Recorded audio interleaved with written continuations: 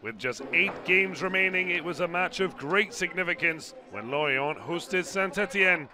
The Bretons started the match just a point above the 18th place Les Verts. Christophe Pelissier's side lost 5 1 in Paris last week, but these, the matches their survival will be based on. A chance for Sainté to climb out of the bottom three.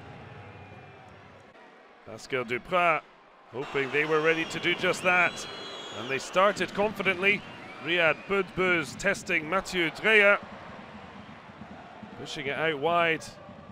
But when the ball was returned into the box, Denis Bouanga struck.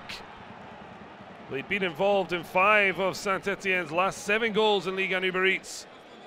Adding to that tally, just four minutes in, a fourth goal in six. He scored the opener against Marseille, though that ended in a 4 2 defeat. So potentially not a good omen.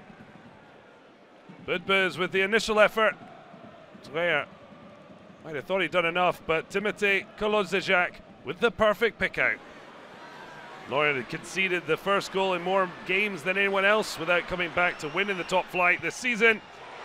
And Arnaud Nordin flipped them into a 2 0 lead, ending a seven match scoreless streak in clinical fashion. 2 0, and Sainté cruising. Lorient with the worst scoring record in the league, yet the turnaround was to be extraordinary. First, Kolodziejczak following from his own goal against Marseille to give away a penalty four minutes from half time. Terem Moffi stepping forward to half the deficit. Two goals in his first 10 league matches of 2022, and also two in successive matches. Well, Ibrahim Kone, his first goal after starting. The previous three all coming off the bench. He scored with his first touch at Le Moustoir, but hadn't netted at home since.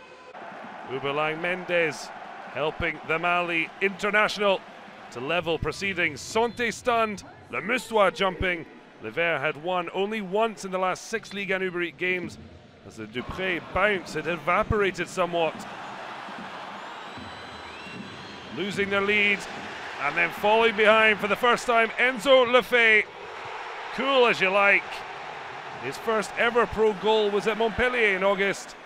His second of the season, though, his first ever at Le Moustoir.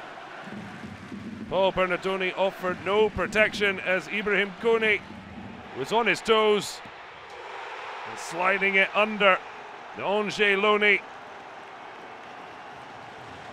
A double for the Mali man. And Lorient were crushing Les Verts.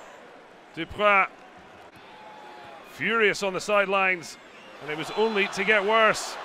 Yvan Neyou, he came on in the 62nd minute, booked in the 68th for a foul on Le Fée, sent off before the 69th minute even arrived for a foul on Kone.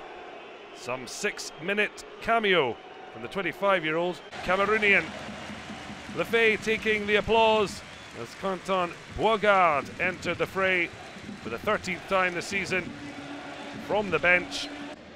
Well, 14 times Lorient had lost after conceding first, and there was no chance of a 15th here as they continued to punish the non existent Sainté defence. Paul Bernardoni's face said it all. Moffi's celebration said equally as much. Three goals in two. The Nigerian starting to rediscover that sparkle from last season. And there was still time for Lorient to hit Sainté for six. Lovely touch and clinical into the top corner from Boisgard, his first of the season.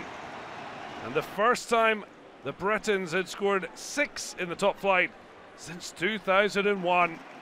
Stunning for Pelissier. Big worries for Dupraz as the battle against relegation continues in earnest. But Lorient giving themselves a huge smile as they profited and certainly made use of the time to celebrate.